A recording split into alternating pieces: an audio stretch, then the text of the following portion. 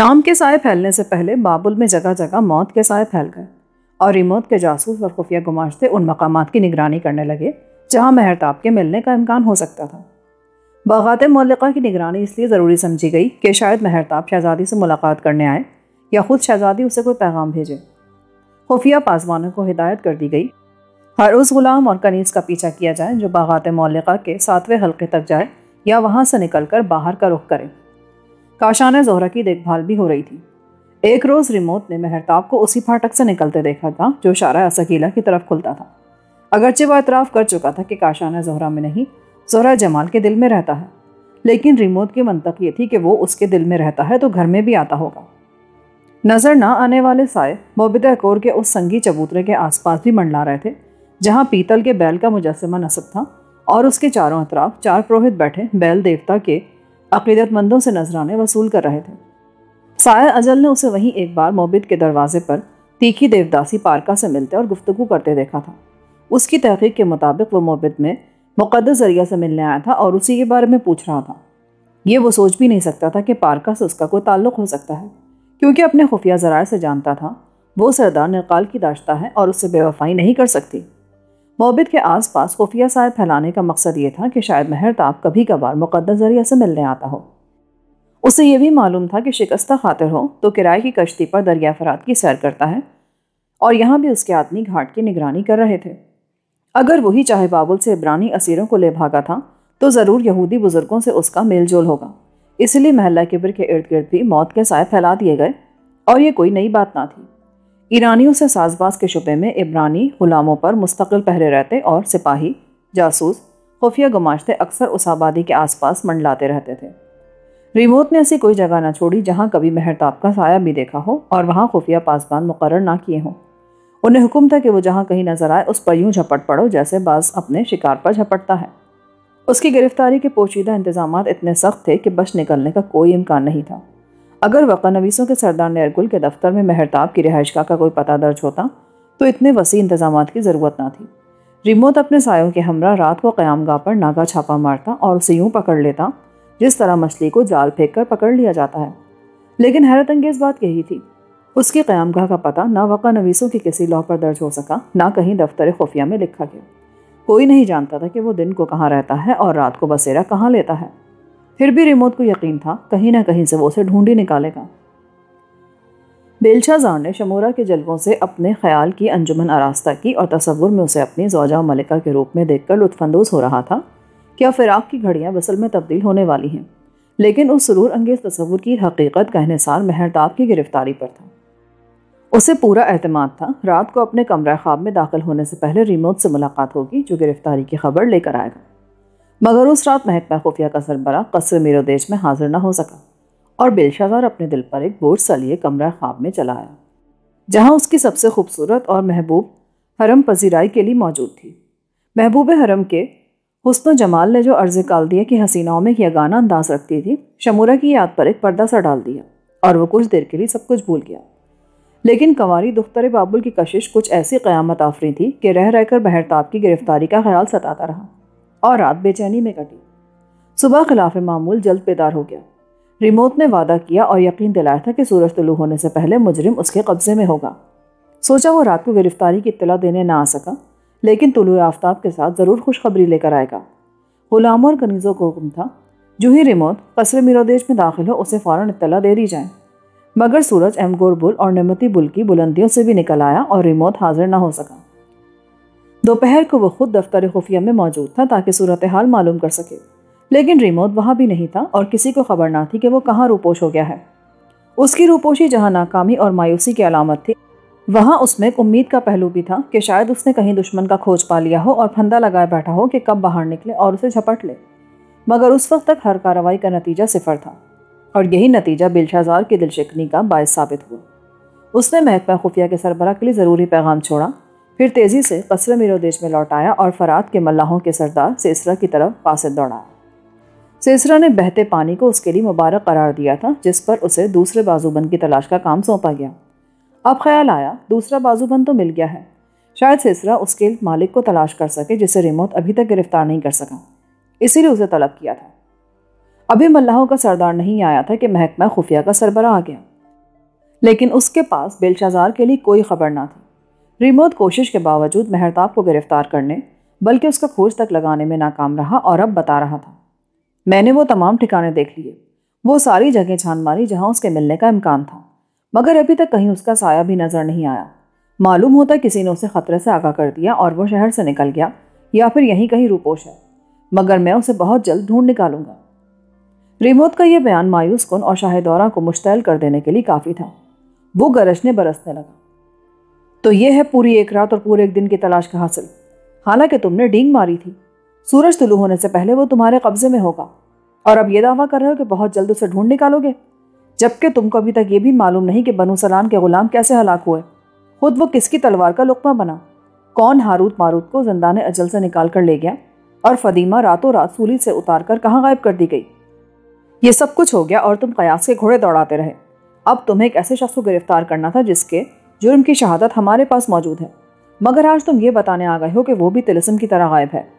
यह है हमारे महकमा खुफिया के सरबरा की कारकर्दगी, जिस पर हम सबसे ज़्यादा अहतमाद करते हैं। पितर मोहतरम ठीक कहते हैं कि बाबुल के पासमान सो रहे हैं और दुश्मन जाग रहे हैं। रिमोट के पास उसके किसी सवाल का, किसी एतराज़ का कोई जवाब नहीं था। वो सर झुकाए खड़ा रहा। जब बेलशाजार चुप हुआ तो उसने गर्दन उठाई। मैं मेहरताब को ज़िंदा या मुर्दा हुजूर के कदमों में ला फेंकूँगा। मगर चंद रोज़ की मोहलत चाहता हूँ। ईद बेलस में भी चंद रोज़ ही रह गए हैं, और अब मोहलत कहाँ है हमारे पास? ठीक उसी नमे गुलाम ने हाजिर होकर सिसरा के आने की इतला दी और बेलशाजार ने उसे फ़ौरन तलब कर लिया। सिसरा रिमोट को देखकर चौंका और बेलशाजार के हुजूर कमर तक झुक गया। शाह दौरा, गुलाम हाजिर है। सरदार सिसरा, हमने खिदमत तुम्हारे सुपुर्द की थी, मगर अब दूसरा बाजूबंद ढूँढने की ज़रूरत नहीं है, क्योंकि वो हमने ढूंढ लिया। और तुम्हें इसलिए बुलाया है कि बाजूबंद के बजाय अब उसके मालिक को तलाश करना है। गुलाम को उसका नाम मालूम होना चाहिए। मेहरताब है उसका नाम। इस इंकशाफ ने सेसरा पर जलजला से तारी कर दिया और बेलशाजार बताने लगा। उसी ने फदीमा को सूली से उतारा। उसी ने बनो सलान और उसके तेगजनों को कत्ल किया और वही इब्रानी असीरों को चाहे बाबुल से निकाल कर ले गया। शायद उसने कुछ और भी किया हो, लेकिन सरदार इमोद, जो मुजरिमों को बतने ज़मीन से भी बाहर घसीट लाता है, उसे गिरफ़्तार नहीं कर सका। और बताता है कि वो जादू की मानंद कहीं गायब हो गया है। सेसरा, वो आदमी हर कीमत पर हमें मतलूब है। हम उसे चाहे बाबुल के अजल गिरफ़्तार गहराओं में फेंकवा देंगे या फिर ईद बेला से पहले उसे सूली दे दी जाएगी, ताकि सब लोग उसे काट पर मरते देख लें और जान लें कि हम शाह दौरा और शाह अरसानी हैं और हमसे बगावत करने की सज़ा सिर्फ़ मौत है। सरदार सिसरा बाजूबंद की तलाश से ही समझ गया था कि उसका खोज महरताब तक जाएगा। लेकिन ये इतमान था कि उसने दूसरा बाजूबंद कहीं महफूज कर लिया होगा और रिमोट का साया भी उस तक नहीं पहुँच सकेगा। मगर बेलशाजार की तकरीर ने उसका सारा इतमान जायल कर दिया। वो चाहे बाबुल के हिसार में पेश आने वाले उन वाकयात को भी, जिन पर असरार का पर्दा पड़ा था महरताब ही की तरफ़ मंसूब कर रहा था। गोया सब कुछ फाश हो गया था और अब सिर्फ़ गिरफ्तारी बाकी थी। उसे खामोश देखकर बेलशाजार ने कहा, सरदार सिसरा, हमारी बादशाहत पर सबसे पहले तुमने हमें मुबारकबाद दी थी। और हम तुम्हें अपने लिए मुबारक समझते हैं। इसीलिए हमें उम्मीद है कि तुम मुजरिम को कहीं ना कहीं से ढूंढ निकालोगे और इस खिदमत के एवज जो इनाम तलब करोगे वो दे दिया जाएगा।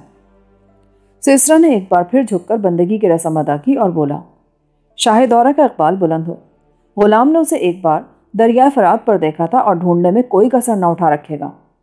अब बेलशाजार रिमोट से मुखातिब हुआ। तुम भी उसे तलाश करो। अगर वो ज़मीन के पेट में छुप बैठ गया है तो बाबुल की धरती को हमारा हुक्म सुना दो।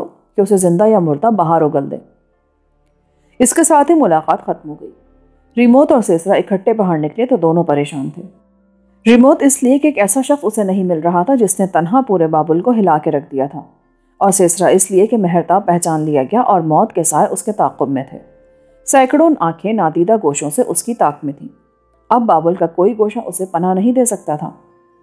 वो दोनों कसर मीरोदेर से ही जुदा हो गए। उनके रास्ते भी अलग थे और फ़र्ज़ भी मुख्तलिफ़ थे। उनमें से एक मेहरताब की गिरफ्तारी चाहता था और दूसरा उसकी हिफाजत पर मामूर था। बाबुल के आसमान पर सिर्फ़ चाँद सितारों ने उसे रातों को कहीं बहवे ख्वाब देखा होगा, या फिर सरदार सिसरा जानता था कि उसका रैन बसेरा कहाँ है। मगर हैरत की बात यह हुई, उसी रात जब वो मौत के सायों को पीछे छोड़ता और नादीदा आँखों से बचता वहाँ पहुँचा कि उसे नए खतरों से आगाह कर सके और बताए कि पूरे शहर में उसकी तलाश हो रही है। उसके रैन बसेरे का दरवाज़ा बंद था। और दरवाजे की जंजीर बता रही थी कि घर का मकीन घर से बाहर है। सरदार सिसरा इस ख्याल से काम किया कि वो खतरे की संगीन नोयत से बेखबर कहीं बाहर घूम रहा है, जहाँ चारों तरफ़ मौत के फंदे बिछे हैं और रात का अंधेरा भी उसे अपने दामनों में नहीं छुपा सकेगा। मगर मेहरताब था कहाँ? उसी रात जब सरदार सिसरा सितारों की रोशन आँखों से भी छुपता छुपाता मल्लाहों की बस्ती को लौट रहा था, मेहरताब हैकल जहरा के अंदर काहिन आज़म और माता के कमरा इंतज़ार में इतमान से बैठा बाबुल की विसाख पर एक नई चाल चल रहा था, क्योंकि ओमाता अपनी गाह में अहवाल गैब के अमल में मुनहमिक था। पारका एक अरसे बाद फिर उसकी चश्मे गैब बन गई थी, और गैबदा ओमाता उसकी आँख से मेहरताब के मुस्तबिल में झाँक रहा था, बल्कि एक हैरत अंगेज ख्वाब देख रहा था जो उसकी चश्मे गैब उसे दिखा रही थी, और ऐसा अनोखा और अजीब ख्वाब ओमाता ने पहले कभी नहीं देखा था। हुआ यूँ था कि मेहरताब ने एक दिन पहले ही जैसे उमाता ने कहा था, उसे आगा कर दिया कि वो कल रात अपनी किस्मत का हाल पूछने आएगा। मगर उस रात की शाम नूर नाहिद आमूसी ने हैकल जहरा में हाजिरी दी और माता की चश्म गैब मित्रों को, जो उसकी बेतकल्लुफ सहेली थी पहला फुसलाकर काशाना जहरा में ले गई। जब मेहरताब अहवाल गैब पूछने के लिए आया और ओमाता को कीमती नज़र पेश की तो गैबदा मित्रों की गैर हाजिरी से बड़ा परेशान हुआ और देवी से इशारा लेने, उसके कमरा इबादत में गया कि साहिल को क्या जवाब दे? वो औरतों मर्दों के हजूम से गुजरता, क्योंकि जोहरा देवी के कमरा इबादत में उसके परिस्तारों का हजूम रहता था। अभी देवी के उरिया मुजस्मे के करीब ही पहुँचा था कि वहाँ मोबिद कौर की तीखी देवदासी पारका जो कबल अजी हैकल जहरा की देवदासी, बल्कि उमाता की चश्मे गैब भी रह चुकी थी। देवी के सामने उसको दो जानों देखकर दंग रह गया। पारका ने भी ओमाता को देख लिया, सलाम किया और परेशानी का सबब पूछा। ओमाता ने बताया कि उसकी चश्मे गैब मित्रों अचानक कहीं चली गई है और साहिल उसके कमरे में बैठा है। वो उसी की खातर इशारा लेने आया है। पारका उसकी परेशानी समझ गई और बोली उमाता मैं पहले भी तुम्हारी चश्मे गैब रही हूँ। अगर साहिल ने तुम्हें अच्छा मुआवजा दिया है या देगा तो आर्जी तौर पर मैं तुम्हारी चश्मे गैब बन जाती हूँ। मगर साहिल कौन है? उमाता उसकी गैर मुतव पेशकश को नेक शगुन समझा और खुशी के लहजे में बताने लगा, शायद तूने सुना हो, जश्न जहरा की रात एक आदमी ने बेलशाजार को जो अब शाह दौरा है, मुकाबले में शिकस्त दी और शहजादी शमोरा को जीत लिया था। वही है। अच्छा वो है। पारका ने हैरत का इजहार किया। उसका ज़िक्र तो सुना है। कहते हैं, बड़ा शहजोर, साहिब जमाल और रब्बुन्ना का मजहर है। चलो, आज इसी बहाने मैं भी उसे देख लूँगी। ओमाता पारका के इस इल्तफात को देवी की मेहरबानी और अपनी खुशबख्ती समझा, क्योंकि पारका उसकी बाज हरकतों से नाराज़ होकर मोबेदा कौर में चली गई थी और अब एक अरसे बाद उसने ओमाता पर अपनी नज़र करम डाली थी। वो इस हसीन इत्तेफाक को किस्मत का करिश्मा समझा और उसे खुशी खुशी अपने कमरे में ले आया। पारका ने मेहरताब से लाताल्लुकी का इजहार किया और यूँ मेरी जैसे उसे जानती ही ना हो। फिर उमाता उसे अपने हजरा खिलवत में ले गया, जहाँ उस पर अमले तनवीम किया गया ताकि मामूल की ज़ाहरी आँखें बंद और बातनी आँखें वाह हो जाएँ और वो अपने आमिल और साहिर की मर्ज़ी के मुताबिक कायनात के अनदेखे गोशों में झाँक सके और अपनी बातनी क़वत से माजी हाल के मुस्तबिल की बातें बता सके। उमाता के नज़दीक ये भी महज इतफाक़ था कि पारका उस वक्त ऐसा लिबास पहने थी, जिसमें जिसम कुछ नुमाया हो रहा था। और उस पर नींद की हालत तारी करते हुए भी उसकी नज़रें कभी कभी बहक जाती थीं। हालाँकि वो महज इतफाक़ ना था जो हैकल जहरा के गैबदा को पेश आया। ना पारका इतफाक़ी तौर पर हैकल में आई, बल्कि एक सोचा समझा करिश्मा जमाल था जिससे वो नागहाँ दो चार हुआ। जब पारका जो कभी उमाता की मंजूर नज़र थी, उसकी तवज्जो के हल्के में आ गई और चश्मे गैब बन गई तो गैबदा ने पहला सवाल किया, क्या बेलशाजार शाह दौरा और मेहरताब के दरमियान दूसरा मुकाबला होगा? उमादा बेलशाजार को बता चुका था कि जब अहलतुल जमाल जहरा तीसरे आसमान से ज़मीन को करीब से देख रही होगी और वो ईद बेलस की रात होगी, वो दूसरा मुकाबला जीत लेगा। मगर बादशाह पर कत्ल के इल्ज़ाम की समात के बाद बाबुल के हालात यकलख तब्दील हो गए और बेलशाजार की हैसियत वलीहत के बजाय एक खुद मुख्तार बादशाह की हो गई थी। अब वो शमूरा को किसी मुकाबले के बगैर भी हासिल कर सकता था और अपने रकीब को मौत के घाट उतरवा सकता था। इसीलिए सवाल बड़ा अहम था कि मुकाबला होगा भी या नहीं। पारका ने जो नींद की हालत में उमाता पर अपना सहर जमाल फूंक रही थी, बहुत दूर से जवाब दिया हाँ मुकाबला होगा और बड़ा अजीब मुकाबला होगा। ये जवाब हालात के बरक्स और हैरत अंगेज था। उसने दिलचस्पी से पूछा, जीत किसकी होगी? जिस पर अहलतुल जमाल मेहरबान है। कौन है वो? देवी ने जश्न जोहरा की रात उस पर नज़र करम की थी। वो अब भी उसे मोहब्बत से देख रही है। उमाता दंग रह गया कि उसकी चश्मे गैब ने बेलशाजार के खिलाफ और मेहरताब के हक में खबर दी है। ये इतला बड़ी सनसनी खेज थी कि देवी इस वक्त भी साहिल पर निगाह मोहब्बत डाल रही है। ओमाता उसकी वजह मालूम करना और जानना चाहता था कि क्या वाकई ऐसा है। क्या आहलतुल जमाल जहरा को मेहरताब से कोई खास दिलचस्पी है? हाँ वो उसे देख रही है। पारका ने अपनी बात दोहराई और मैं आहलतुल जमाल को देख रही हूँ।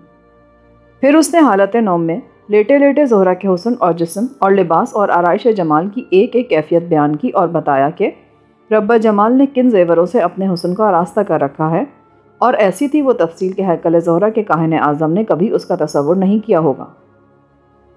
मैं आलातुल जमाल की हसीन गर्दन में तीन तीन हीरों का, जो सितारों से ज़्यादा ताबिंदा हैं, एक सतलड़ा देख रही हूँ।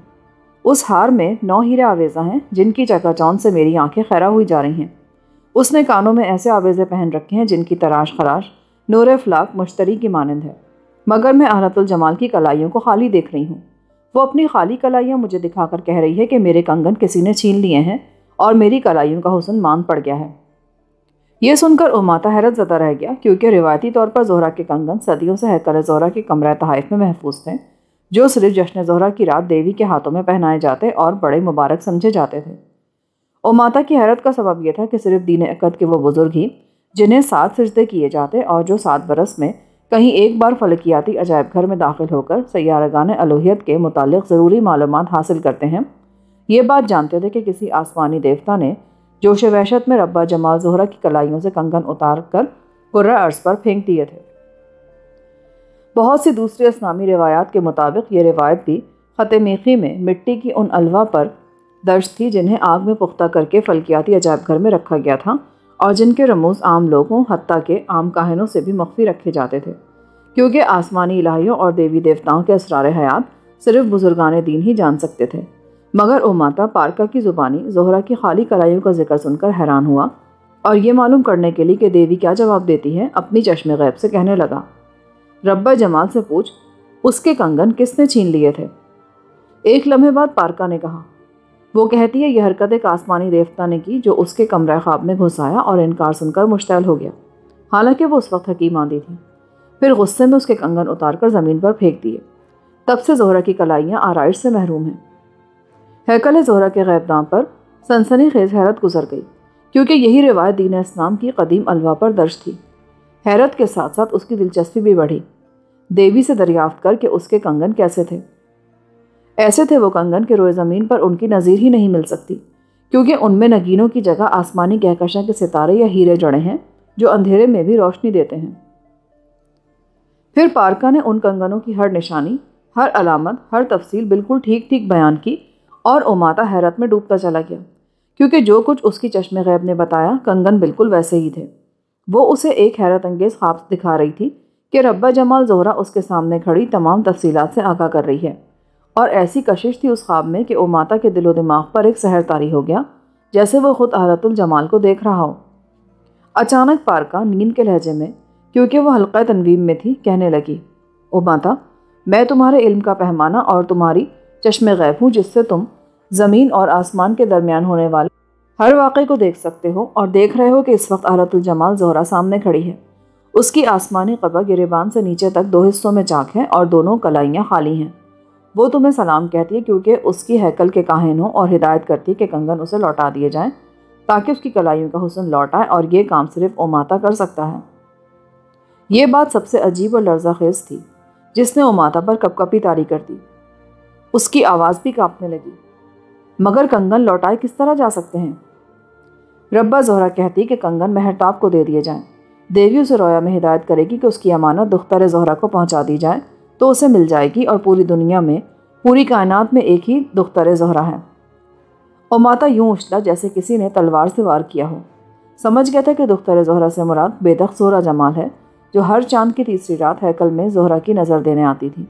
मगर जो हिदायत उसे की गई, वो नाकाबले फ़हम और समझ से बाला थी। अव्वल तो वो कंगन किसी को दे ही नहीं सकता था। अगर दे भी दे तो रब्बा जमाल तक कैसे पहुँच सकते थे? किसी मौमे में उलझने के बजाय उसने सीधा रास्ता अख्तियार किया। अगर कंगन हैकल से गायब होगा तो बादशाह मेरी गर्दन मार देगा। ओ माता, देवी पूछती है उसकी हैकल का काहिन किस बादशाह की बात करता है? क्या उस बादशाह की जिस पर कत्ल का जुर्म है और जो असल बनोनीत को मौत के घाट उतार कर खुद बनोनीत बन बैठा? सुन ओ माता, आलतुल जमाल जहरा कहती है, इस वक्त बाबुल का कोई बादशाह नहीं। इस शहर के काहिन, साहिर गैबदान मुनजम दानश्वर और ख्वाबों की ताबीर बताने वाले, मजलिस कौमी के बुज़ुर्ग अरकान, सरदार शेख और उमरा सब जान गए हैं कि एक मामूली पुजारन का बेटा धोखे से उन पर हुकूमत करता रहा और सब उससे बरगश्ता हैं। और जब जहरतुल अफलाक उसे बादशाह नहीं समझती तो उसके हैकल के काहिन को क्या इख्तियार है कि उसके सामने अपनी गर्दन खम करे या उससे खौफजदा हो? अगर वो कहे कि शाह दौरा उससे बासपुरस करेगा तो कौन शाह दौरा? बाप, बेटा अपने बाप से बड़ा मुजरम है। जिसने बुल और मुर्दोक और उनकी मुश्तरक जोजा इश्तार की आँखों के सामने दो काहिनों पर तलवार चलाई और मुक़दस हैकल में खून बहाया। जिसने हैकल के कानून को तोड़ा, उसके लिए हलाकत है। जिसने अशराफ को धोखा दिया, उसके लिए रसवाई है। बस थोड़े ही दिन है कि हलाकत की चक्की गर्दिश में आएगी और ालिम अपनी सज़ा को पहुँचेंगे।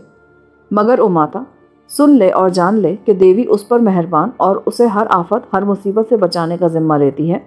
और अब्बा जमाल का हुसन उस वक्त तक मुकम्मल नहीं होगा। जब तक वो अपने कंगन दोबारा नहीं पहन लेती।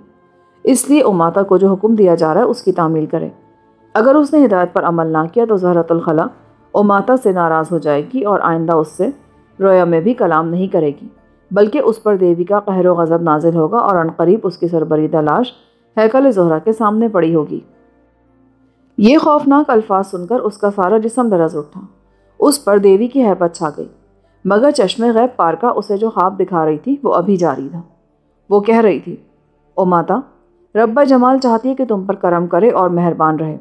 अगर तुम उसकी हिदायत पर अमल करोगे तो तुम्हारी हर ख्वाहिश पूरी होगी। हर मुराद बर आएगी और जो कुछ चाहोगे देवी तुम्हें मुहैया कर देगी। ये आखिरी अल्फाज से जो चश्मे गैब, यानी पारका ने हालत तनवीब में अदा की। फिर उसके खूबसूरत होठ आपस में जुड़ गए। जैसे अब ना वो कुछ कह सकती थी, ना सुन सकती थी, ना देख सकती थी। और माता ने जो एक अनजाना खौफ महसूस कर रहा था, सामने लेटी पारका को गौर से देखा। उसके सडोल जिसम का जायज़ा लिया और उसे अपने अमल और हल्का तवज्जो से निकाल दिया। मगर हसीन पारका, तनवीमी हालत ख़त्म हो जाने के बाद भी इसी तरह साकित तो जामिद लेटी रही, जैसे अमले तनवीम ने उसे निढाल कर दिया हो और अब वो उठने के लिए सहारा चाहती थी। ओ माता ने मौके को गनीमत जाना और अपने हाथों से सहारा देकर उठाया। हालाँकि पारका यह हसीन मौका खुद फराहम कर रही थी, ताकि उसे जो ख्वाब दिखा चुकी है, वो टूटने ना पाए। ओ माता ने उठाया तो निढाल और थकी मांदी से उसके साथ लग गई, जैसे किसी तवील सफ़र से लौटी हूँ। ओ माता के लिए सूरत हाल बड़ी दिल फरेब थी, क्योंकि उसे दिल से चाहता था। ज़रा हौसला बहाल हुआ तो बोला, कितनी अजीब बातें थी जो तूने की और मैंने सुनी। अभी तक खौफ की लहर मेरे जिसम में दौड़ रही है। ओ माता, खौफ किस बात का? देवी ने मुझे ताकीद किया कि मैं तुम्हारा हौसला बढ़ाऊँ, तुम्हें तसल्ली दूँ, तुम्हारे साथ रहूँ। और जब मैं तुम्हारे साथ हूँ, जिसे तुम चाहते हो तो डरते क्यों हो? ये अल्फाज एक ऐसे जज्बे का इजहार कर रहे थे, जिसका वो मुद्दत से ख्वाहिशमंद था। ख्याल आया, शायद देवी ने पारका के दिल में उसकी मोहब्बत डाल दी है। फिर भी मामला बड़ा संगीन था और इस खौफ से वो कांपा जाता था। अगर भेद खुल गया और एक दिन खुल ही जाएगा कि उसने जोहरा के कंगन किसी को दे दिए हैं तो क्या होगा? मगर साथ ही देवी के सरजनिश और अपनी सरबरीदा लाश का तस्वुर भी दहलाए दे रहा था। दोनों हालतों में एक हिरास, एक हॉल था। पार्कर ने उसके जिसम की खफीफ लर्जिश को महसूस किया और कपकपाते अल्फाज सुने। मेरा दिल काँप रहा है पार्का। मुझे मशवरा दे कि मैं क्या करूँ, क्या ना करूँ। देवी का कहा, पूरा करो और जो कुछ चाहते हो तुम्हें मिल जाएगा। मगर देवी के कंगन चुनारा एक संगीन जुर्म है। अगर जुर्म है तो तुम ये जुर्म देवी की हिदायत पर करोगे। घबराओ नहीं हो माता, तुम्हें ज़िंदगी की सरहद पार नहीं करनी। सिर्फ़ देवी के कमरा तहफ तक जाना और चुपके से उसके कंगन लेकर लौट आना है। कमरा तहाइफ पर तीन ताले पड़े हैं। मैं उन्हें तनहा नहीं खोल सकता। दूसरे दोनों पुरोहितों को तलब करो ताकि तुम्हारे साथ वो अपना अपना ताला खोल लें। और माता ने एक नई मुश्किल पेश की। कमरा तहाइफ सिर्फ़ उस वक्त खोला जाता है जब देवी को पेश किया जाने वाला कोई कीमती और नादिर तोहफा वहाँ महफूज करना हो। फिर अपने साहिल से पूछो, क्या उसके पास कोई नादिर तोहफा है जो देवी को भेंट कर सके? पारका ने प्यार से उसका हाथ पकड़ लिया। मैं नहीं जानती। जिस शख्स के लिए तुमने मुझे अपनी चश्मे गैब बनाया, उसे इस मामले से कोई सरोकार है या नहीं? अगर उसके पास नादिर तोहफा नहीं तो फिर जो तुम्हारे जी में आए वो करना।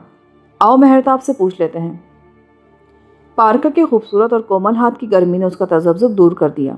अब वो खुद चाहता था कि साहिल कोई नादिर तोहफा पेश कर दे, जिसे महफूज करने के लिए देवी के कमरे का दरवाज़ा खोला जा सके और रब्बा जमाल की अमानत उसे लौटा दी जाए ताकि उसके सिले में हसीन पारका को मांग ले। दोनों एक दूसरे का हाथ थामे, कमरा इंतज़ार में दाखिल हुए तो मेहरताब की बेचैनी तस्कीन में ढलने लगी कि पारका हैकल जोरा के गैबदा को वो पुरस्कार और हसीन ख्वाब दिखाने में कामयाब रही है, जो वो उसे दिखाना चाहता था। उमाता आते ही बोला मेहरताब तुमने जो सवाल किया था उसका जवाब मिल गया है। मेरी चश्मे गैब ने कुछ और भी देखा है, और ये देखा है कि रब्बा जमाल जहरा तुमसे कोई खिदमत लेना चाहती है। मगर इससे पहले कि मैं तुम्हारे सवाल का जवाब दूँ और वो खिदमत बताऊँ ज़रूरी है कि देवी को नज़र करने के लिए तुम्हारे पास कोई नादर तोहफ़ा होना चाहिए, जो उसके कमरा तहफ़ में महफूज किया जा सके। देवी के कमरा तहफ़ का सुनकर महरताब का दिल धड़कने लगा कि पारका उसे मकसद की तरफ़ ले आई है। वो बोला, अगर देवी मुझ पर मेहरबान है तो मैं एक ऐसा तोहफ़ा नज़र करूँगा, जो उसके शायन शान है। ये कहकर अपने लबादे से एक चरमी बटवा निकाला और उसके हाथ पर रख दिया। इसमें तीन ऐसे नादिर और नायाब हीरे हैं जिनकी नज़ीर पूरी दुनिया में नहीं मिल सकती। इनमें दो हीरे तो देवी के लिए हैं, जो उसके कानों में आवेज़े बनकर दरख्शा रहेंगे, और तीसरा तुम्हारे लिए है। उमाता ने हीरे निकाल कर देखे तो उसकी आँखों में चकाचौंध हुई। इतने कीमती जवाहर देखकर, जिनकी चमक दमक के सामने शायद जोहरा के कंगन भी हेज थे नक्श हैरत बन गया। पारका भी हैरान रह गई कि उसने अपने मकसद की बहुत बड़ी कीमत लगाई है। उमाता अब मुझे बताओ, देवी ने मेरे सवाल का क्या जवाब दिया है और मुझसे क्या खिदमत लेना चाहती है? हैकल के गैबदा काहिन ने तीन हीरों में से एक हीरा अपनी जेब में रखा और दो बटवे में डाल दिए और बोला, अभी इंतज़ार करो मेहरताब, मैं देवी के कमरे तहफ़ से लौटाऊँ, फिर तुम्हें हर सवाल का जवाब मिल जाएगा। फिर उसने पारका से पूछा, तू भी चलेगी मेरे साथ? नहीं हो माता, मैं देवी के कमरा तहफ़ में तो नहीं जा सकती, तुम्हारे कमरा ख्वाब में ज़रा आराम करूँगी। थक गई हूँ। फिर पारका कमरा ख्वाब में चली गई और वो माता मेहरताब को इंतज़ार गाह में छोड़कर बाहर आ गया। उसने हैकल के खादमों को आवाज़ दी तो खुदू पुजारी भागा भागा आया जो कहीं आसपास ही था। इस बार भी वही मेहरताब को लेकर आया था। उमाता ने उसे हिदायत की कि कलीद बरदार पुरोहितों को फ़ौरन बुलाए, क्योंकि एक इंतहाई नादर तोहफ़ा देवी के कमरे में रखा जाएगा। हदू लपकता चला गया। थोड़ी देर बाद उमाता कमरा तहफ़ के दरवाजे पर खड़ा, जहाँ चालीस पचास पुरोहित, पुजारी, जोहरा की हमदोसना में मगन थे, दोनों पुरोहितों को इंतहाई कीमती हीरे दिखा रहा था और बता रहा था कि मेहरताब ने, जो शहजादी शमूरा का तलबगार है, कि नादिर तोहफ़ा देवी को भेंट किया है। ज़रूरी था कि हैकल का काहिन आज़म, जो नजराना कमरा तहफ़ में महफूज करे, उसे दोनों पुरोहित देख लें, ताकि गवाह रहें और हैकल के दफ्तर में नजराने देने वाले का नाम लिख लिया जाए। वो चिराग की मानंद चमकते हीरे देखकर और मेहरताब का नाम सुनकर खुश हुए, फिर अपना अपना कफुल खोला। माता ने अपना कफुल खोला और तनहा कमरे में दाखिल हुआ। उसने वापसी में देर ना लगाई और दरवाजे पर फिर तारे डाल दिए गए। मगर जब उमाता अपना कुफल लगा रहा था तो उसके दोनों हाथ काँप रहे थे। अपनी रिहाइश गाह में आया तो पारका कमरा ख्वाब में बिस्तर पर लेटी, जिसमानी नकाहा दूर कर रही थी। उसने अपनी चश्मे गैब को बिस्तर से उठाया और जोहरा के कंगन दिखाए। उन्हें देखकर बेख्तियार जी चाह कि अपनी कलाइयों में पहन ले। मगर उमाता के हाथों को कप कपाते देखा तो समझी कि खौफजदा है। वो बोली, देवी की अमानत लौटाते हुए तुम्हारे हाथों में लर्जिश नहीं होनी चाहिए। ये कहकर उसने उसे तसल्ली दी। फिर वो उसे साथ लेकर कमरा इंतज़ार में आया जहाँ मेहरताब तनहा बैठा था। मेहरताब, तुमने जो सवाल पूछा था उसका जवाब यह है कि बेलशाजार से तुम्हारा एक और मुकाबला होगा और बड़ा भयानक और सख्त मुकाबला होगा, मगर जीत फिर तुम्हारी होगी। मेहरताब को इस बात से कोई दिलचस्पी ना थी कि हैकल जोहरा का काहिन उसे जीत की खबर देता है या हार की। वो तो सिर्फ़ जोहरा के कंगन लेने आया था, जिन्हें ओमाता ने अपनी मुट्ठी में दबा रखा था, मगर उनकी झलक देखकर भी बेतकल्लुफ सा रहा और अपनी जीत की खबर पर रस्मन उसका शुक्रिया अदा करने लगा। मेहरताब, तुम्हारी जीत सिर्फ़ देवी की मेहरबानी से होगी और इसके एवज वो तुमसे खिदमत लेना चाहती है। मेहरताब को उसी खिदमत से दिलचस्पी थी। मैं देवी की हर खिदमत के लिए हाजिर हूँ। और माता ने अपनी मुट्ठी खोली और दोनों कंगन उसके हाथ पे रख दिए। ये रब्बा जमाल जोहरा के कंगन हैं। अगरचे कंगन हाथ में आते ही पूरे जिसम पर एक मुसरत अंगेज सनसनी की लहर दौड़ गई थी, मगर उसने मुसरत के बजाय हैरत का इजहार किया। मैं इन कंगनों का क्या करूँगा? ये रब्बा जहरा की अमानत है जो उसे लौटाई जा रही है। ये कंगन तुम्हारे लिए नहीं, किसी और के लिए हैं। आहलतुल जमाल खुद तुम्हारे रोया में आएगी और बताएगी कि तुम ये अमानत किसके सुपुर्द करोगे? और जब तुम कंगन उस हस्ती तक पहुँचा दोगे, जिसकी निशानदही की जाएगी तो तुम्हारा काम खत्म हो जाएगा। मेहरताब झुक गया। मैं अपना फ़र्ज़ अदा करूँगा। मैं अपनी ज़िंदगी तुम्हारे हाथ में दे रहा हूँ। किसी को भी इस बात का इल्म नहीं होना चाहिए कि मैंने तुम्हें क्या दिया है और तुमने मुझसे क्या लिया है। मेहरताब का जवाब तसली बख्श था। ओ माता, तुमने उस शख्स पर भरोसा किया है जिस पर देवी भरोसा करती है। और जब बेलशाजार से मुकाबला जीत लो तो इस खादिम को याद रखना। तुम हमेशा मुझे याद रहोगे। उम्मीद है हमारी फिर मुलाकात होगी। ये कहकर ओ माता ने बात और मुलाकात ख़त्म कर दी। मेहरताब ने देवी की अमानत लिबादे के नीचे अपनी सदरी में महफूज कर ली। कायनात की सबसे खूबसूरत औरत के साथ किए गए पैमान के मुताबिक वो जोहरा के कंगन हासिल करने में कामयाब हो गया था, जिसके लिए मोबिद अकोर की तीखी देवदासी वसीला बनी थी। अब वो मुतमिन था कि साया अजल रिमोट का आमना सामना करने से पहले जोहरा जमाल बेदख की तीसरी और आखिरी ख्वाहिश को पूरा कर रहा है, क्योंकि समझता था रिमोट से मुकाबले के बाद उन दोनों में से कोई एक ही ज़िंदा रह सकता है। उसने ओमाता का शुक्रिया अदा किया और उसकी चश्मे गैब का भी। फिर बाहर का रुख किया तो माता ने दरवाजे तक साथ दिया फिर मेहमान को शब बखैर कहकर और दरवाज़ा बंद करके अपने कमरा ख्वाब में आया। पारका उसके बिस्तर पर दराज थी क्योंकि अभी उसका काम ख़त्म नहीं हुआ था। उसे वो माता के जहन से खौफ और तजब्जुब की रही सही कैफियत भी ज़ायल करना थी, ताकि जहनी तौर से वो पुरसकून रहे। मगर ओ माता के चेहरे को देखा तो अब उस पर परेशानी का कोई साया ना था। वो करीब आकर खुशी से बोला, पारका, आज मैं बहुत खुश हूँ कि देवी की अमानत लौटाकर मैंने तेरी इनायत हासिल कर ली है। वो उठकर बिस्तर पर बैठ गई। मैं जानती थी कमरा ख्वाब में आओगे तो तुम्हें बदला हुआ पाऊँगी। मेरे पास बैठ जाओ क्योंकि तुम्हारा खौफ दूर हो गया है। और अब तुम सही बातें करने लगे हो। जब मैं किसी फैसले पर पहुँच जाता हूँ तो दुनिया की कोई ताकत मुझे अपना फैसला बदलने पर मजबूर नहीं कर सकती। मैं समझ गया हूँ कि सब कुछ आसमान की मर्ज़ी से हो रहा है। यूँ लग रहा था अब वो अपने आप से या किसी से भी खौफजदा नहीं है। हसीन पारका ने उसे ख्वाब दिखाया था और उस रात उसके ख्वाब की ताबीर बन गई थी।